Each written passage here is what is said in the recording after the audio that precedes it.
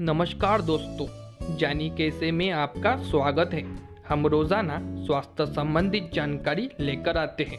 हमारे चैनल को सब्सक्राइब करना ना भूलें और साथ ही बेल आइकॉन को ज़रूर दबाएँ, जिससे कि हमारे सभी वीडियो की नोटिफिकेशन मिले आपको सबसे पहले। सुबह खाली पेट कई चीज़ें खाने से हमारे शरीर को अत्यधिक लाभ होता है। तो सुबह के वक्त पर कई अन्य चीज़ें खाने पीने से हमारे शरीर को बहुत नुकसान भी होता है, क्योंकि कई व्यक्ति नहीं जान पाते कि किन चीज़ों के सेवन से हमारा स्वास्थ्य सही ही रहता है और किन चीज़ों के सेवन से हमारा स्वास्थ्य खराब होता है। इसीलिए आज हम आपको यही बताएँगे कि खाली पेट किन चीज़ों का सेवन नहीं करना चाहिए। अंडे का सेवन।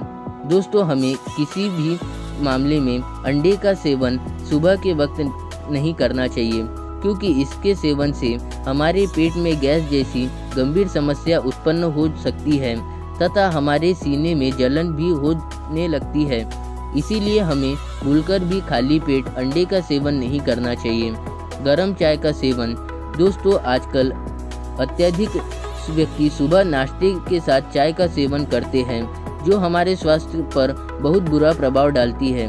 क्योंकि सुबह के वक्त गर्म चाय पीने से हमारे पाचन तंत्र पर गलत प्रभाव पड़ने लगता है।